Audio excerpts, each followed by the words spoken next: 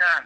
يا شيخ ظهر أناس الذين يقولون أن التصوير الفوتوغرافي من الجوال بدعة ومن يقوم بالتصوير وهو مبتدئ وفاسق بعد قيام الحجة عليه ثم يتبرؤون منه.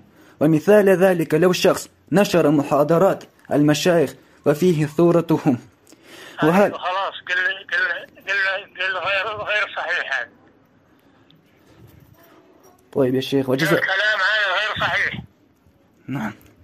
جزاكم الله خيرا.